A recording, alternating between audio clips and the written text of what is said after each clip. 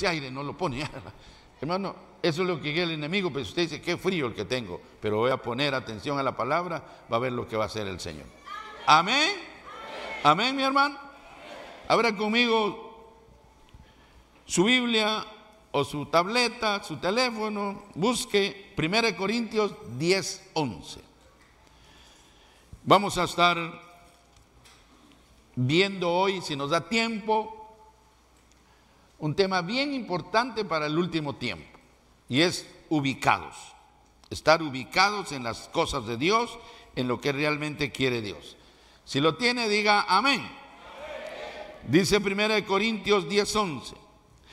Estas cosas le sucedieron como ejemplo y fueron escritas como enseñanza para nosotros. ¿Para quién? Para mí. Para quienes ha llegado el fin de los siglos.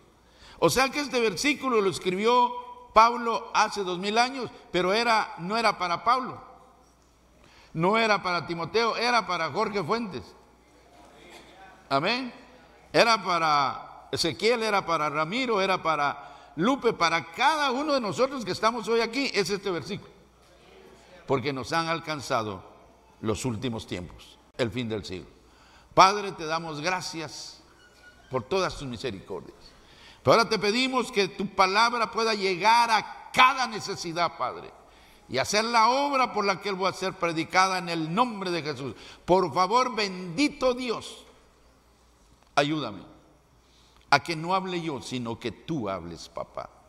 Espíritu Santo, muévete en cada uno de nosotros para que tu palabra pueda encontrar acogida, Señor, y pueda ser, se pueda ver el resultado de lo que tú estás hablando, lo que tú estás enseñando, en el nombre poderoso de Jesús.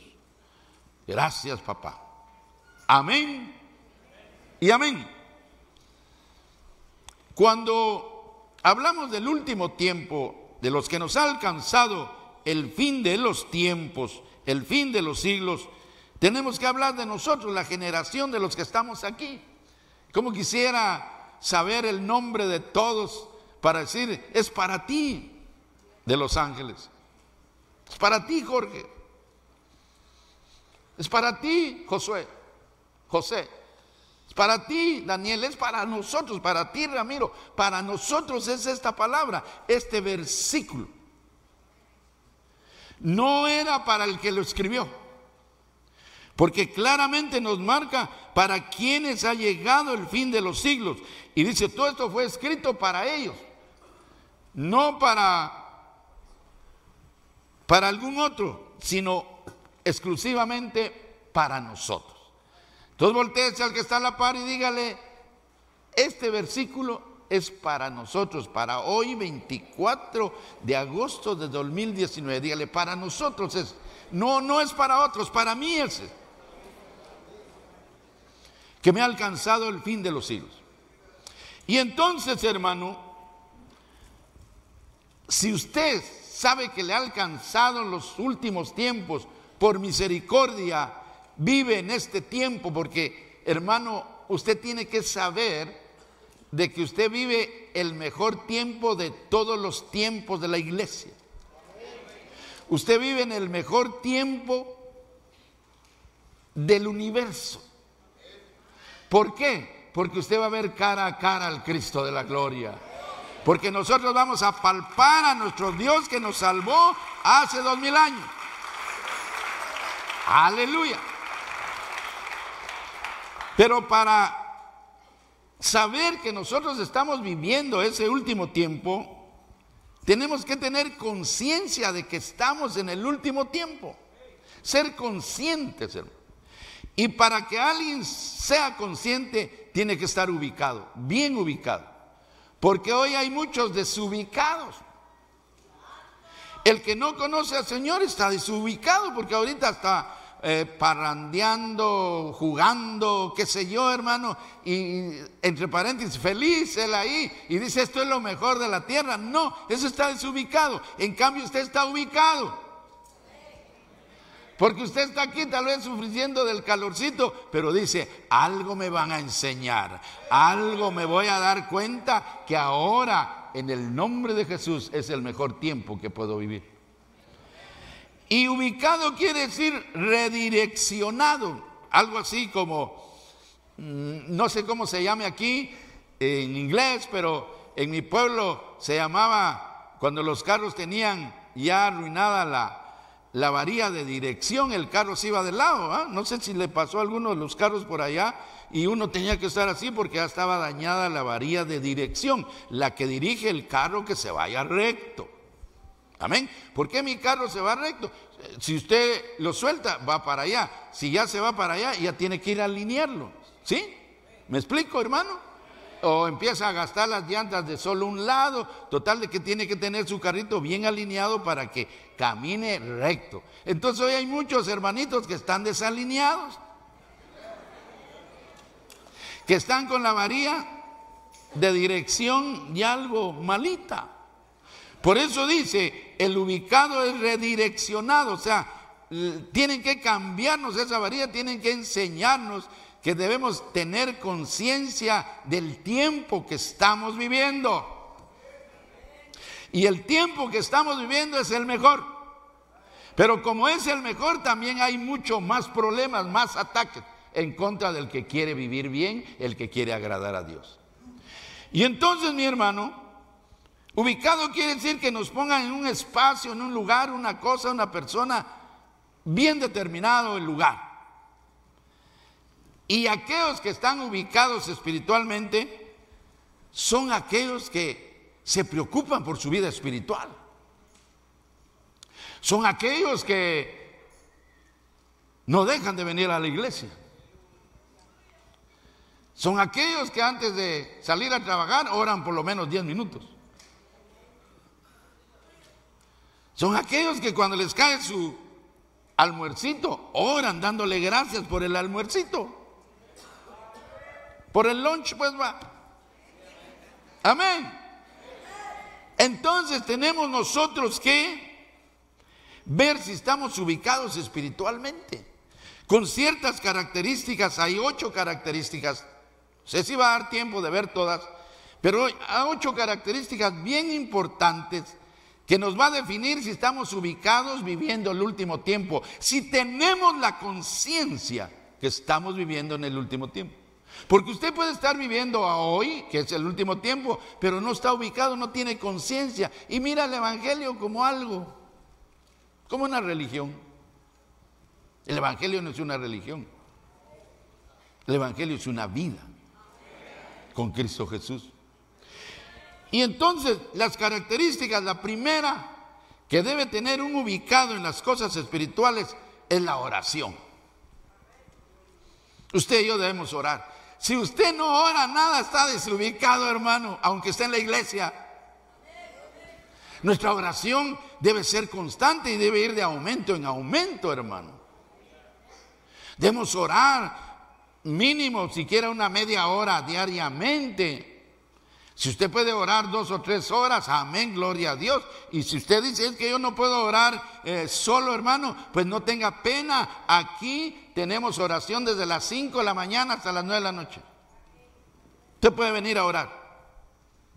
Una hora, media hora, lo que usted desee. Entonces lo primero que debemos tener para ver si estamos ubicados es la oración. Fíjese bien, fíjese bien, hermano. Allá había un hombre que estaba bien ubicado, que se llamaba Daniel. Daniel estaba ubicado sirviéndole al rey, pero sabía que atrás del rey había uno más grande. Sabía que había alguien más que tenía más poder que al que le servía aquí en la tierra. Y un día las envidias, porque como no faltan, yo siempre le digo, usted hermano como cristiano, y peor si está ubicado, se saca enemigos gratis. Amén. Gratis caen los enemigos. Pero el ubicado, mi hermano querido, sabe qué hacer cuando viene el ataque. Y entonces se juntaron los sátrapas, unos ahí a la par de otros, le dijeron al rey, rey, fíjate que Daniel abre las ventanas y empieza a orar, oh Rey de la Gloria, gracias porque me diste hoy de comer. Jehová de los ejércitos, gracias porque por ti estoy vivo. Fíjate todo lo que dice. Y no, Él está en el reino y tiene que agradecerte a ti. Así que nosotros como somos tus amigos, rey, firma un decreto, un edicto, donde si Él ora a otro Dios y no eres tú, tiene que morir. Y el rey dijo, bueno, como que quería algo a Daniel, le caía bien, dijo, sí, pero tienes razón, y firmó el edicto. Y entonces le fueron a avisar a Daniel, el, ubicado, le dice, Daniel, mira.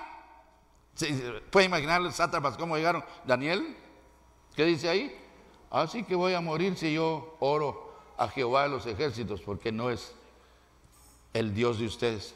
Sí, ok. ¿Estás avisado? Y en guerra avisada no hay muertos. Así que, tranquilo Daniel. ¿Qué hace el ubicado? ¿Qué hace Daniel? Vayan conmigo a Daniel capítulo 6 y versículo 8. Ahora pues, oh rey, promulga el mandato y firma el documento para que no sea modificado conforme a la ley de los medos y persas que no puede ser revocada. Por tanto, el rey Darío firmó el documento. Esto es el mandato. Cuando Daniel supo que había sido firmado el documento, entró en su casa y ¿qué hizo? Lo mismo. Abrió las ventanas, abrió las puertas y dijo, oh Jehová de los... Y, eh, déjeme, déjeme el don de la sospecha, hermano. Pero vio que los sátrapos estaban por la esquina y así decía, oh Jehová de los ejércitos, gracias por lo que me has dado hoy. Oye, ya, ya está frito, Daniel. El ubicado lo pueden amenazar, pero ¿qué es lo que tiene que hacer? Orar. Así que deje de estarse defendiendo, hermano.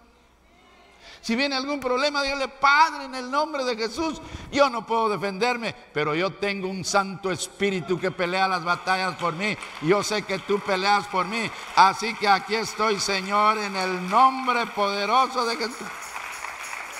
El ubicado ora. ¿Y sabe qué dice? Que Daniel oraba tres veces al día. Y después que lo amenazaron, oró una vez. No, en cambio, muchos de nosotros, no aquí no mejor, en otras iglesias, hermanos, empiezan a orar y empiezan a ver cosas feas y ya no oran. Ore más. Si usted está ubicado, usted tiene que saber que la oración es un eh, teléfono abierto con el Dios de la gloria. ¿Cuántos tienen necesidad de algo aquí? ¿Ya se lo pidió en el teléfono rojo a Dios? En el teléfono único, el suyo, hermano. Allá, eh, fíjense que en el cielo hay un teléfono que dice Jorge Fuentes y cada rato timbre. A ver qué quiere Jorge ahora. Ah, si no tengas pena, ahí te lo voy a dar. No te lo he dado, pero ya te lo voy a dar. Rojo, solo es la relación suya con el Señor, Jehová de los ejércitos. ¿Cuántos tienen ese teléfono? Ay, hermano, yo no sabía. Porque nunca ahora. Primera característica, la oración. Hermanos ubicados de Lin, oremos. Todos los días. No solo el día del patrono del pueblo, no todos los días. No solo cuando hay retiro, solo cuando hay vigilia, no todos los días, hermano. Si usted está ubicado como Daniel, hermano, el Dios de la gloria lo va a salvar. El Dios de la gloria lo va a guardar.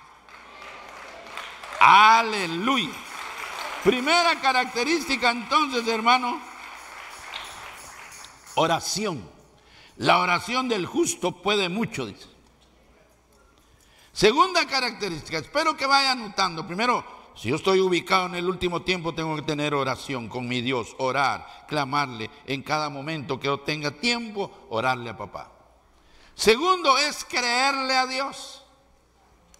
Oye, hermano, tenemos que creerle a Dios. Hay muchos que son cristianos pero no le creen a Dios. Hay muchos que ven el poder de Dios y no le creen. ¿Qué le dijeron a Marta? No te he dicho que si creyeres. Pero dice que hay muchos Martos y muchas Martas ahora. Quieren ver la gloria de Dios, pero no le creen a Dios. Tenemos que creerle. Él es poderoso Él hace todo bien, hermano. Él no nos va a dejar en esta tierra. Él se ha comprometido que nos lleva y nos va a llevar al cielo, hermano. Usted tiene que creer lo que dice esta palabra. Creerle a Él que Él no ha perdido una sola, una, ni la mitad de una ha perdido. Y no la va a perder con usted, hermano. Crea que Él es vencedor, que es victorioso y que lo va a llevar a usted y hará la obra en su vida. Fíjese lo que dice Juan 7:38. Si crees en mí, dice, si crees en mí, de lo más profundo de tu ser, ¿qué brotará?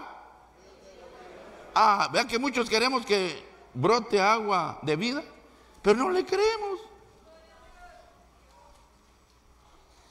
Ahí estamos desubicados y entonces nos dicen, el Señor te va a ayudar, te va a dar tus papeles. Y entonces muchos dicen, no, Señor, si yo tengo orden de deportación, crea. ¿Se da cuenta? Creerle a Él. Es que el Señor va a hacer eso. Amén, yo lo creo. Pero muchos de nosotros no le creemos porque vemos tan grande el milagro que no creemos. Si mi Señor dice, si crees, si crees, si tienes fe, le vas a decir a ese monte, quítate ahí, te vas al mar. Pregunta, si usted le cree a Dios, ¿qué hay imposible para Dios? No, repítalo otra vez. ¿Qué hay imposible para Dios, hermano? Nada. Entonces, ¿por qué se me agüita?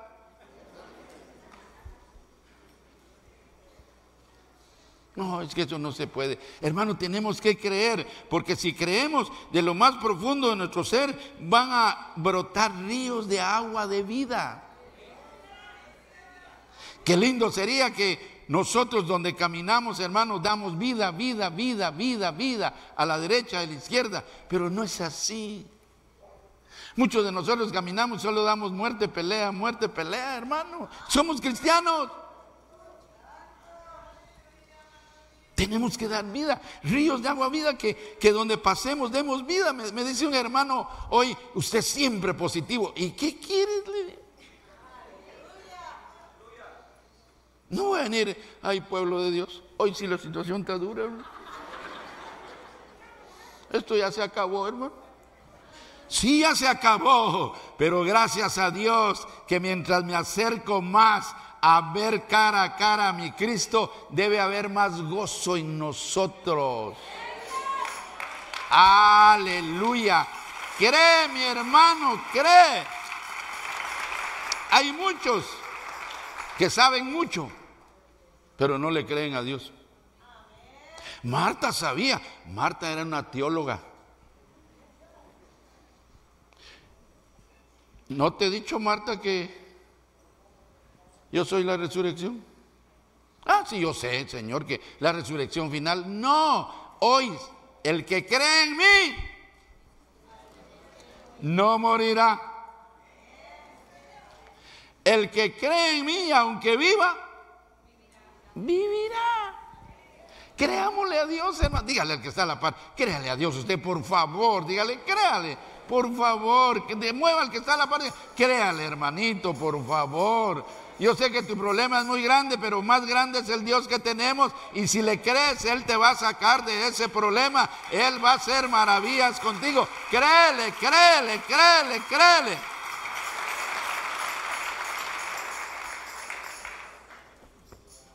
Y si le crees a Dios, estás ubicado en el último tiempo. Porque el que no cree, hermano, nada, Cristo viene. Si sí, a dos mil años dicen que Cristo viene y no viene, está desubicado. Pero nosotros ubicados, creámosle a Dios. Tercero, llevamos dos, oración y creerle a Dios. Tercero, tener fe. Usted debe tener fe, hermano. ¿Qué dice Hebreos 12.2? Puesto los ojos en quién? ¿En quién? En la Virgen María Puesto los ojos en el pastor. Puesto los ojos en quién? Cristo Jesús. Fíjese, ¿y ya lo vio usted? Entonces, ¿en qué, ¿dónde va a poner sus ojos entonces? A ver, a ver, a ver, a ver. Miren lo que le estoy preguntando. ¿Ya vio a Jesús? ¿Y entonces por qué dice que ponga los ojos en él? Porque eso es fe. ¿Cuántos saben que Cristo está aquí? ¿Cuántos saben que Cristo está aquí? Eso es lo que tenemos que hacer nosotros, hermano, tener fe para creerle a Dios. Fe es, Hebreos 12, 2 dice, poniendo los ojos en el autor, poniendo nuestros ojos en Jesús, no, que no cambien su mirada, hermano, puesto los ojos en Jesús. Va. ¿Dónde mira usted a Jesús? ¿Lo mira aquí? ¿Lo mira allá? Ahí ponga los ojos. Eso es fe. No, yo sé que Jesús existe y es real. Vaya, haga todo lo que Él dice. Tener fe en Él. Y dice, puesto los ojos en Jesús, que es el autor. Autor. Entonces la fe es hija de mi Cristo. Él es el autor, Él es el creador. Entonces, ¿cómo nos va a fallar, hermano? Si Él es el creador, no nos falla, ni nos fallará. Si ponemos la fe, puede ser que haya una situación muy dura para su vida en este momento y no mire nada de salida, no mire todo, solo tinieblas, no. Pero si usted tiene fe, la fe pasa a esas tinieblas. La fe sobrepasa esa tiniebla. Me dijo un hermano, ¿cómo se anima usted a mandar gente si no sabe si le va a ir bien? Yo lo hago por fe. Si yo estoy viendo que cómo le va a ir, nadie, ni yo estuviera aquí. A mí me mandaron aquí, me dijo, anda, amén, obedecí. Y creí. Y mire lo que Dios ha hecho. Por fe, por fe. Entonces, ¿cuál es tu problema? Ubícate y aumenta la fe, hermano. Porque el enemigo le encanta quitarnos la fe. Si allá estaba Pedrito, hermano, caminando sobre el agua, feliz, hermano. Miró a mi Jesús, las olas no le, perdone, las olas que eran los problemas, le hacían los mandados a Pedro. Miraba las olas, ¡bum! pasaban aquí las olas. Hoy puede estar usted así, hermano. El problema de su papeles puede ser una ola muy grande. Déjela. Mire a Jesús. Y que pase el agua. Mire a Jesús. Tal vez el agua le puede pasar, límpiese y siga viendo a Jesús. Eso es fe. Tal vez el problema es su esposa. Sonría que Cristo le ama. Tal vez su problema es su esposa. No quite la vista de Jesús. Viene el problema y, si usted no quita, ahí sigue con su esposa. Cinco años más, diez años más, veinte años más. Tal vez el problema es su esposo también, porque hay hermanitos bien bonitos. Déjelo, ahí viene la ola, no cambia su vista. Y Pedro pasaría 20 olas a ver cuánto en la tormenta, hermano. Y él caminando, viendo a Jesús. Y dice la Biblia que solo cambió su vista y dijo, uy, esta ola sí. Entonces no debe de ver usted los problemas. ¿Cuántos tienen problemas? Gloria a Dios, Señor, porque has dado una iglesia sin problemas, bien bonita. ¿Cuántos tienen problemas? No mire el problema, mire a Jesús. Que Él se especializa en arreglar sus problemas, por muy grandes que sean. Mírenlo a Él y va a ver lo que Él va a hacer. Cuando hacemos eso de mirar a Jesús, pasamos los problemas, hermano.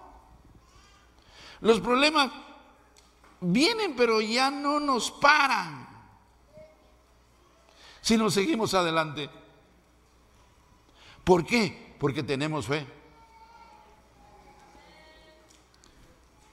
¿Se hundió Pedro? Corrió mi señor y ¿qué dijo? Mi señor le dijo, Pedro, sálvame. Lo agarró. Hombre de poca fe. Ah, y hacía segundos tenía fe. Se le había quitado el enemigo. Entonces nos puede quitar el enemigo la fe. Hombre de poca fe, ¿por qué dudaste? ¿Qué nos quita la fe? Que con trabajo, porque con trabajo el Espíritu Santo nos va poniendo cada día que venimos al culto, hermano, con la duda. Si usted está bien ubicado, fuera duda. No es que yo no voy a ver al Señor, que tal vez tú no lo vas a ver, yo lo voy a ver. Toda duda se va. No, es que mi mujer no se arregla, tal vez no, la tuya no se arregla, pero la mía la va a arreglar el Señor. Tal vez mi marido no se arregla, del tuyo tal vez no, pero el mío sí, Dios lo va a arreglar. Y tal vez estás viendo que no se arregla, pero si tienes fe, el Dios de la gloria.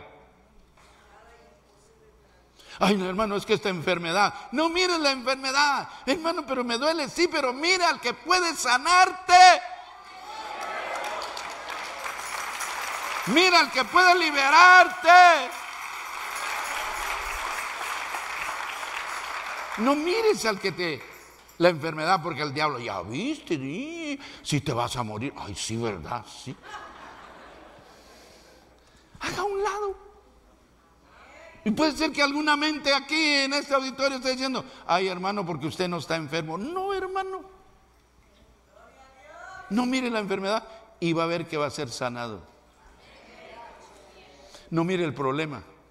Ay, hermano, que estoy estorbado, mira que a veces me dan ganas de pegarle a mi esposa. No, mire el estorbo, mire quién lo va a liberar. Se llama Jesucristo. Si usted cree en Él como su liberador, como su Dios que le va a quitar toda atadura a su vida. Eso es tener fe. ¿Sacaron a Pedro, sí o no? Yo siempre digo, si hubiera sido el Señor, yo hubiera agarrado a Pedro, hermano, de la oreja. ¿Y por qué dudaste, Pedro? Ahora te vas a meter otra vez al agua porque aprendas a no dudar. No, hermano. Solo dijo, hombre de poca fe. Caminemos ahora. Y otra vez regresan al milagro. Otra vez. Entonces puede ser que Dios ya te sanó hace unos años. Hoy te puede sanar si tienes fe. Puede ser que Dios ha hecho un milagro grande contigo. Hoy lo puede hacer si tú tienes fe en Él. Míralo, Él el Señor, aquí estoy. Por mis fuerzas ya nada puedo hacer. Señor, ayúdame. Aquí estoy, papá. Entonces, óigame bien. Primero, oración. Segundo, creer. Tercero, fe. Fe en Él. Pero óigame, hermano, la cuarta característica, dice ahí en Hebreos 12:2. Puesto los ojos en Jesús, el autor y consumador de la fe, quien por el gozo puesto delante de él soportó la cruz, menospreciando la vergüenza, y se ha sentado a la diestra del trono de Dios. Esto, esto es grande, hermano. Dice que fue mayor el gozo que el sufrimiento de la cruz. ¿Cómo, ve usted eso? Mi Señor, hermano, en la cruz fue tremendo. Dice que estaba a esta altura, hermano, encogido, que los calambres venían desde la cabeza hasta el dedo gordo del pie. Era doloroso, hermano. Pero Él vio el gozo. Déjeme. Pero yo me imagino que estaba en la cruz. Él de repente volteó a ver así y nos vio así a todos los que estamos hoy aquí. Y se gozó. Ahí está aquel que dejó su problema en casa y vino. Ahí está aquel que se le arruinó el carro, pero no importó y se vino en paz. Cristo sonriendo con gozo. Ahí está aquel que ya no aguanta a su esposa, pero aquí está porque sabe que aquí le van a enseñar que la aguante porque muy pronto la van a cambiar.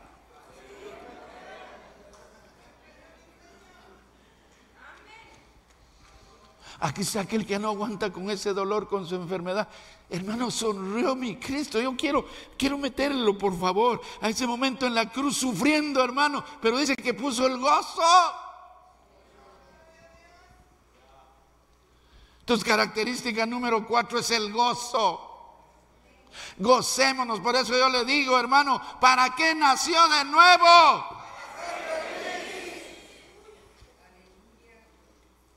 Perdone. Pero póngase de pie le habla a uno y le dice, yo nací de nuevo para ser feliz. Póngase de pie, sea obediente, por eso vamos a ver. Póngase de pie, ahí arriba también. Y agarre a uno, dígale, mire, yo nací de nuevo para ser feliz. A ver, dígale a alguien ahí, yo nací de nuevo para ser feliz. Yo nací de nuevo para ser feliz.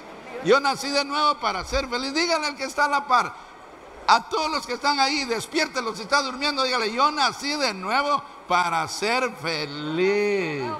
Yo nací de nuevo para... Eso es, eso es, eso es. Yo nací de nuevo para ser feliz. Amén. ¿Para qué nació de nuevo, mi Amén. Ahora, ahora repita conmigo, ¿para qué nació de nuevo? ¿Puede sentarse, mi hermano? Hermano, eso debe ser una realidad en nosotros. Si mi Cristo al sufrimiento, porque eh, es, es, cierto que le puedo decir, hermano, ¿cuántos tienen sufrimientos? Y todos vamos a levantar las manos. Pero de nada serviría que yo le diga levante las manos si no le digo hoy sí. Pero anteponga el sufrimiento el gozo de Jesucristo. Y va a ver lo que va a pasar. Dios va a hacer maravillas, hermano. Si mi Señor hizo eso, dijo no. ¿Y, sabe qué es lo más tremendo? Si usted sigue conmigo en el versículo, dice, puso delante y soportó la cruz menospreciando la vergüenza y se ha sentado a la diestra del trono de Dios. Y entonces dice mi Jesús, eh, hay gozo. Miro a, los que creyeron en 8400 Sur ah, ah, y le dolía al cuerpo de mi Señor. Ya, pero hay gozo en mí. Ah, pero ya me veo sentado a la diestra de mi Padre. Entonces, ¿cómo se debe ver usted? ¿Cuántos tienen problemas? Va, levanta el que tenga problemas su mano. Va, ahora abra bien sus ojos y mire para arriba. Me siento esposa del Cordero. Ah, estamos locos, hermano. Eso es lo que vio mi Jesús. Nos sentimos esposa del Cordero ahora. Mi Señor se vio en el trono y estaba en la cruz. Hoy tiene usted problemas, miles de problemas sobre su vida, pero véase ya como la esposa del Cordero, véase engalanada, hermano, con su corona de la vida, a la par del Cristo de la gloria. Véase.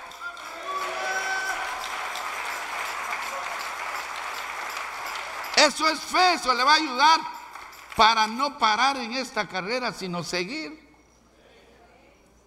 Ya puede ser que usted venga y ojalá que el pastor hable de problemas, porque yo estoy en problema, amén. Pero hoy le digo algo más sublime. Haga a un lado el problema y veas en el cielo como esposa del Cordero. Veámonos en el cielo como esposa del Cordero, hermano. Ya basta de un evangelio aguitado. Ay, no, es que Jesús es para que me, me guarde. Amén, y Él guarda. Jesús es para que me defienda. Amén, y Él defiende. Pero hay algo más grande. A todo sufrimiento de aquí en la tierra, de los que estamos aquí, hermano, véase ya en el cielo. Eso es fe. Eso es caminar en fe. Y entonces va, a ver lo que el Señor va a hacer con nosotros. Nos va a cambiar el Evangelio. Es diferente nuestro Evangelio. Entonces debemos tener gozo, hermano. Mire, mire los ubicados. Pablo y Silas. Golpeados, maltratados, heridos con morados, con moretes, con chinchones, no sé cómo se dice. Tal vez un dedo quebrado. con dolor de cabeza de los tunazos que le habían dado, tal vez con una costilla rota, tal vez tragando sangre porque le habían sacado un diente, déjeme ponerlo hasta ese extremo, con la lengua mordida tal vez. Los dos, ¿qué hicieron? Como estaban ubicados. Mm, sí, las, me duele la la costilla número 5, te la quebraron. Decía, a mí la otra me la quebraron. ¿Así? A veces los cristianos solo hablando de nuestros problemas. Ay, es que no estás para saberlo ni yo para contártelo, pero aquí donde me ves, mira, es por la misericordia de Dios que estoy en la iglesia. Amén y gloria a Dios, es una verdad. Pero no he venido a contar nuestros problemas. Tenemos que contar la gloria que se nos ha dado por su misericordia, hermano. Por favor, hermano querido. Pablo y Silas bien ubicados. ¿Qué hicieron, hermano? Vos viste aquel que me dio en la cabeza. Mira, tengo una bolota que si no me la puedo tocar porque está en los cepos. Pero, pero cuando salga aquí le voy a pedir a papá que le quiebre todas las piernas y todos los brazos. No. No se quejó Pablo a Silas ni Silas a Pablo. ¿Saben qué quiero? Cantemos con gozo. Así que hermano, si hay alguien aquí enfermo, cante con gozo. Si alguien vino aquí hoy y dijo es el último día que voy a la iglesia, cante con gozo y jamás se va a despegar de la iglesia. Si vino alguien aquí que diciendo hoy sí me ha llovido sobre mojado, ya deje estar pensando el sobre mojado. Hoy piense que hay un Dios todopoderoso que lo ha amado, lo está amando y lo amará y quiere que usted se levante espiritualmente, se ubique en el último tiempo para que usted pueda caminar de acuerdo a como es un hijo. Hermano, ya dejemos estarnos quejando. ¿Qué tal de? Ay, vos. ¿Sabe qué pasó esta semana? Oh, mejor ni te cuento. ¿Qué pasó? ¿Me mordió un perro? Hasta ahí lleguemos. Ay, yo no te contaba. Yo me di una quemada, mira aquí. Salió el café por. Solo nuestros ¿Por qué no venimos mejor? Padre, te voy a cantar. Yo sé que no me ha ido bien esta semana, pero nada gano con estarme recordando de eso. Hoy te voy a cantar, porque si te canto a ti en espíritu y verdad, el mayor beneficiado voy a ser yo, Señor. Así que en el nombre de Jesús, Camino al cielo yo voy. Camino al cielo yo voy. Veámonos, hermano, con gozo. Mire, ya, ya basta de evangelios aburridos. Goces, hermano. Cuando en la calle le preguntan, ¿y usted es aleluya? Sí, hermano, gracias a Dios. Pero con una sonrisa. ¿Usted es evangélico? Sí, por la gracia de Dios. No, hermano. Pero es que le está lloviendo sobre mojado. Sí, gracias a Dios, hermano. Pero viera que ahí donde me moja el Señor me da gozo y es mayor. Dice que a veces me duele el brazo, pero me pongo a gozarme y es mayor el gozo que me da que del dolor del brazo. Eso fue lo que hizo el Señor. Evangelio con gozo, hermano. Así que por favor, prohibido que alguien venga aquí, ya no aguanto, hermano. Desde que me metí el Evangelio, problema tras problema. ¡Gócese! Amén. Cuarto, ¿ah? Cinco. Debemos obedecer a Dios. Porque el que no obedece a Dios no tiene vida eterna. Entonces nacemos de nuevo pero después de nacer de nuevo, obedecer. Ayer aceptaron dos hermanitas, no sé si vinieron, pero si aceptaron ayer, ¿qué tenían que hacer al salir de la iglesia? Obedecerle a Dios. Y eso es lo que nosotros debemos hacer, obedecer a Dios, hermano, porque hay muchos que no obedecen a Dios. Obedecer esta palabra que por misericordia tenemos nosotros. El que cree en el Hijo y tiene vida eterna, pero el que no obedece al Hijo no verá la vida. Entonces, después de nacer de nuevo, obedezca, porque si no, no va a haber la vida. La vida próspera, la vida, hermano, es que, ¿cuántos han sentido el gozo del Evangelio de Cristo? ¿De veras lo ha sentido usted? Mire, a veces vienen hermanitos lindos aquí y vienen con una cara y se van peor.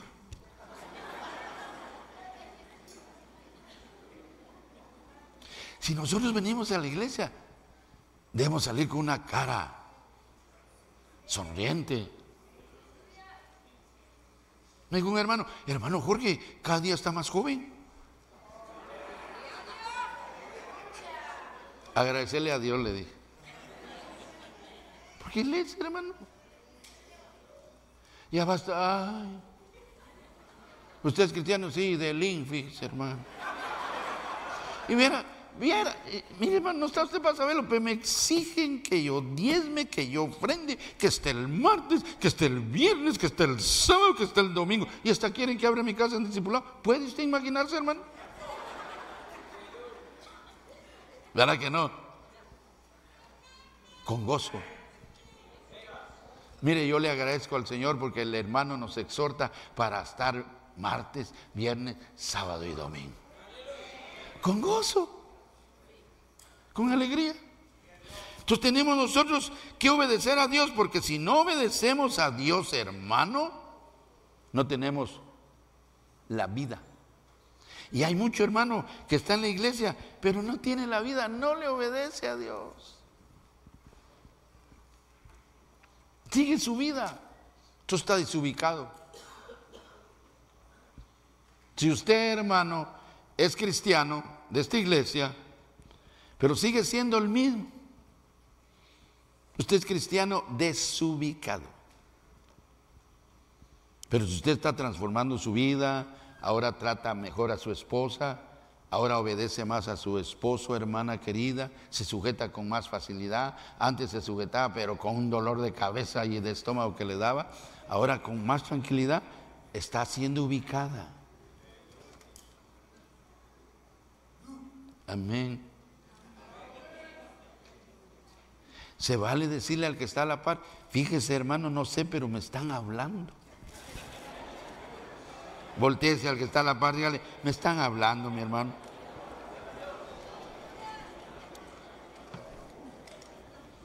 Aleluya. Obedecer a Dios. Sexto parámetro, hermano, el que está ubicado adora, alaba. Ese le encanta la adoración. Y algo que me gusta a mí, hermano, es que cuando salgo siempre veo a los hermanos, aleluya, aleluya. Por lo menos hay una emoción. Ahora quiero que esa emoción se convierta en convicción que va a cambiar usted. Porque si está aquí, aleluya, gloria a Dios, saltando y sigue viviendo su vida, de nada sirven los saltitos. Se va a quedar dando saltitos en la tribulación. Amén. Por ejemplo, si da unos 10 saltitos aquí, que en esos saltitos, porque dice que hay cánticos de liberación, le liberen la patita con que patea al firulais. Pues sí, hermano. Porque muchos estamos aleluya y cuando llega, ¡pam! El pobre perrito, hermano. ¿Qué cambio hay ahí? Estoy poniendo un ejemplo pequeño. Pues usted entró pensando a la iglesia mal de su esposa y se dio una danzada salga que es la mejor mujer que Dios le ha dado de todo el universo. Amén. Amén.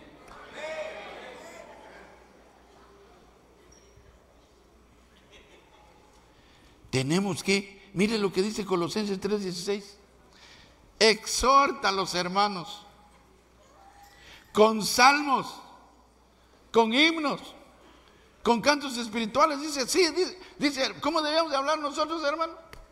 A ver, pónganme ahí Colosenses capítulo 3, versículo 16. Léalo y póngalo ahí. Esto es para mí también. Si usted está ubicado, va a empezar a cambiar.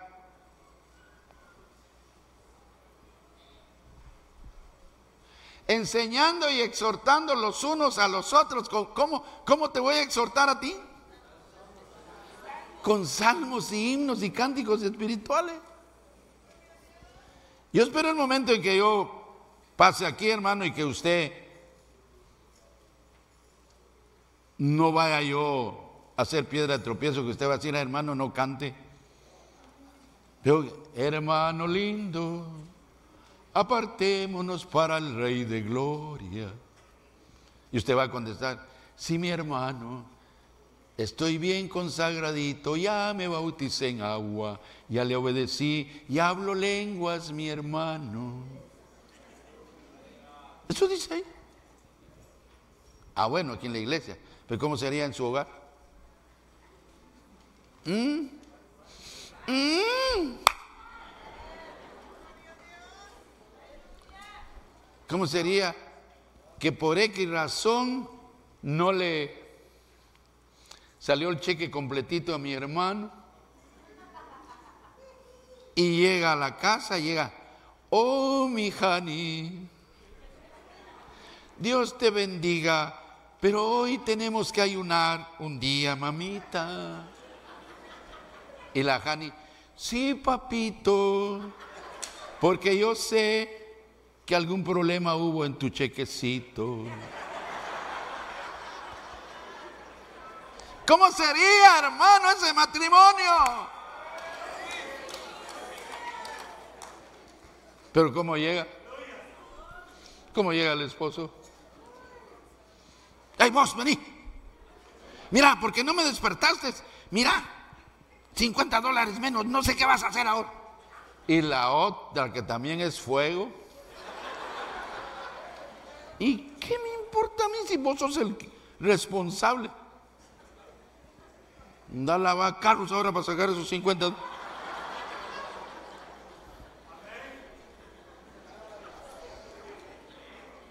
Exhortémonos, dice la Biblia. Lea conmigo, hermano, porque hay algunos que no me creen. A ver, lea aquí conmigo. Dice, enseñando y exhortando los unos a los otros. ¿Con qué? Himnos y canciones espirituales.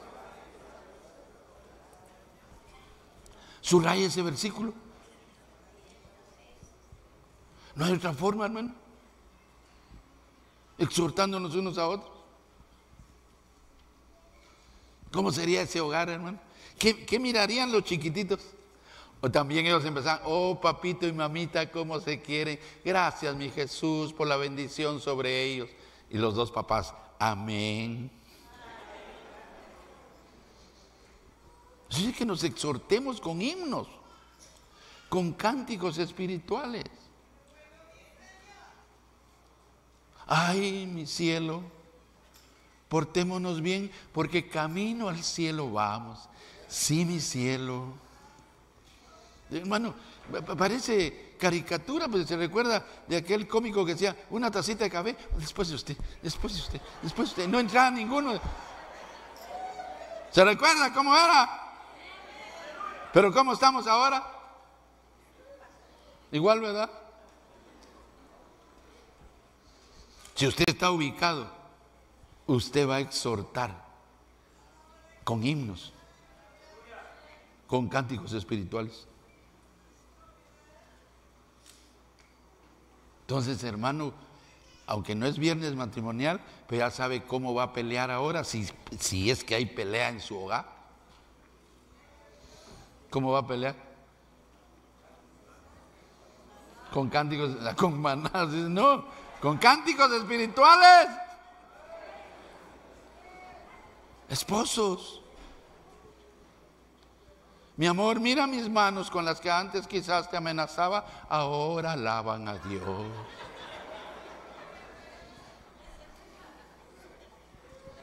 ¿Verdad que parece otro evangelio? ¿Dónde? Pues, está la Biblia, hermano. Himnos y canciones espirituales con gracia, cantando en nuestros corazones al Señor. El hogar sería un, un verdadero paraíso. Y a ver, déjeme el don de la sospecha, a ver si no Adán y Eva así se hablaban, hermano. Cantando los dos, hasta que llegó la serpiente. Cantando los dos, diciendo aleluya, gloria a Dios. Dios nos visita. Amén. Oración, creer, fe, obedecer a Dios y cantar el cántico nuevo, cantar el cánticos espirituales, himnos. Nos faltan dos. Dejamos para la próxima semana. Pero hermano, por favor, usted puede chequear si está ubicado. Si está ubicado, está haciendo estas cosas. Si usted se está dando a, con su esposa, con su esposo, usted está desubicado en las cosas de Dios. En las cosas de Dios tenemos que estar ubicados. Amén.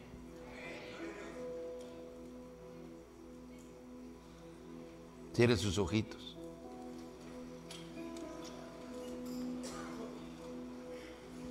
Voy a pedir que nadie se mueva para salir. Y voy a pedir, esposo que estás aquí, toma a tu esposa y ven al altar. Si estás sirviendo, búscala.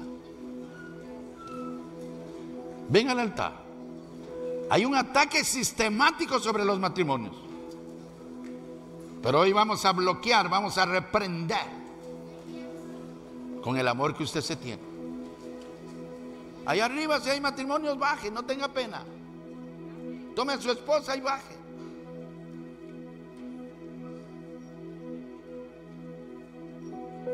Estamos haciendo un acto de fe. Acérquese, hermano. Con su esposa de la mano.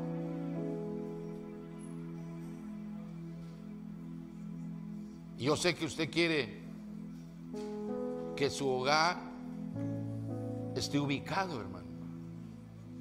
Porque a los ubicados le cuento que viene el Señor Jesús, no a los desubicados. Si tiene la dicha de tener a su esposa, venga.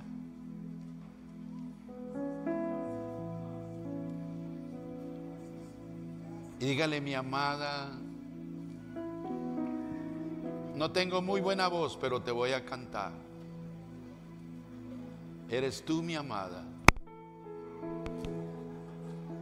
No hay otra mujer como tú. Y va a ver lo que el Señor va a hacer con nosotros, mis hermanos. Ahí cierre sus ojitos a la par de su esposa. Padre, en el nombre de Jesús, tú conoces a cada pareja que está aquí, Son familias. Y tú vas a venir por familia, Padre, en el nombre de Jesús.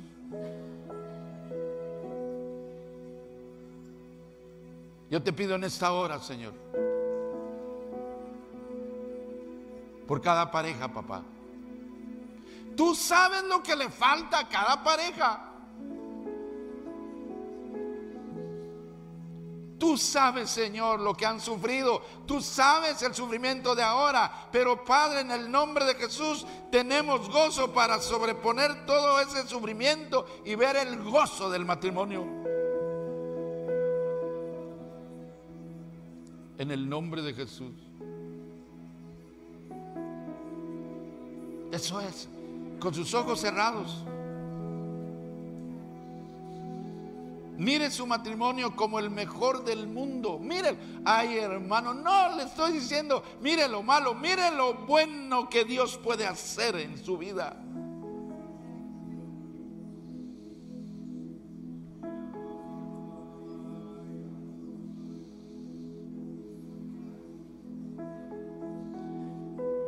No le autorizo, esposo, lo malo y lo que ha sufrido en su matrimonio. Déjelo. Esposa, no le autorizo ni siquiera recordar lo malo que ha hecho su esposo. En este momento, con la fe, con el gozo que Dios le ha dado, ve algo más grande.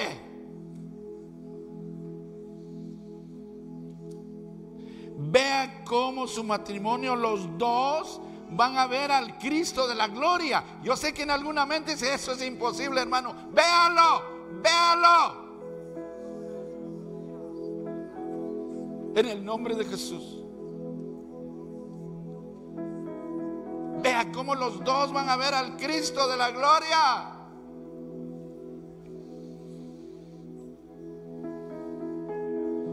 En este bendito evangelio que tenemos. Veámoslo, hermanos. Oh, Solo, solo no, no deje que el enemigo meta dardos a su mente haciéndole ver todo lo malo que se ha portado su esposo, su esposa. No, haga a un lado eso. Mi Dios hizo a un lado el sufrimiento y se vio sentado en el trono de Dios. Ahora, hermano, vea usted, diga, yo veo con mi esposa viendo al Cristo de la gloria, siendo parte de la esposa del Cordero.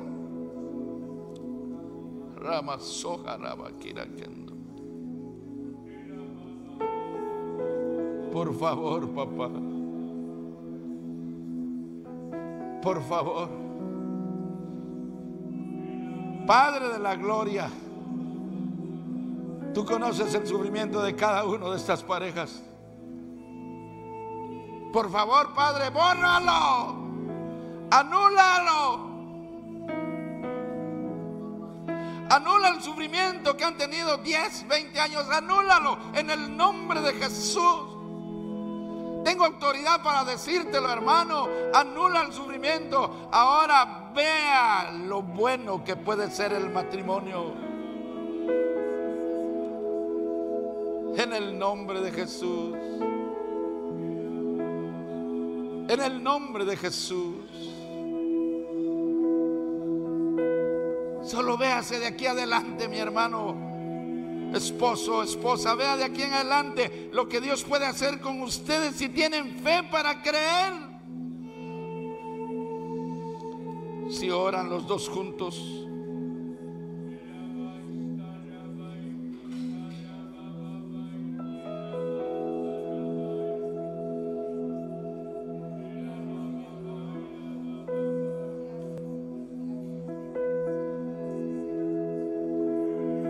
Dios que está aquí, póngase de pie. Por favor.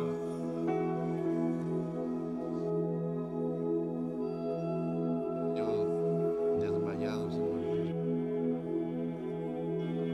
Aleluya. Levante su mano un momento más, un momento más. Son momentos especiales, hermano. Yo sé que el enemigo está tirando dardos a muchos matrimonios con lo malo que han sufrido.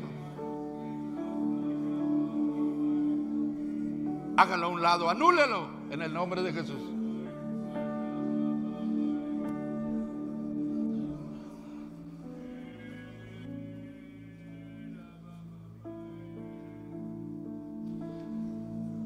Amén. Solo piense en este momento, anulando todo lo malo que ha habido en su vida matrimonial. Véase lo que Dios está haciendo. Lo que Dios va a hacer de aquí en adelante. Por favor, mi hermana, mi hermano, no sea indiferente a la palabra de Dios. No sea indiferente a lo que Dios puede hacer. Diga, yo lo creo, yo lo creo. No lo he visto por estos años, pero lo creo. Estoy confiando. Señor.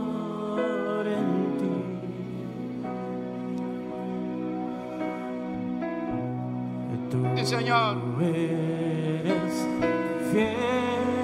Señor. Ahora levante sus manos, pueblo, y dígale. Tan fiel a mí. Confío en ti, papá. Nunca me has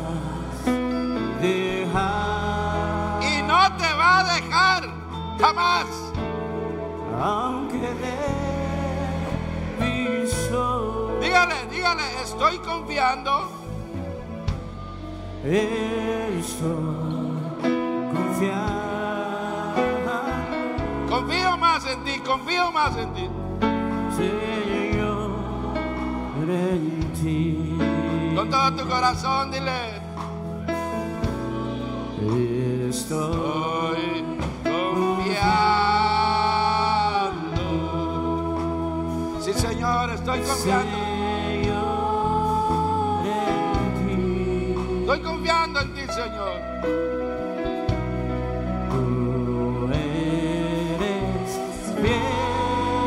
Señor, Tan fiel a mí, díselo.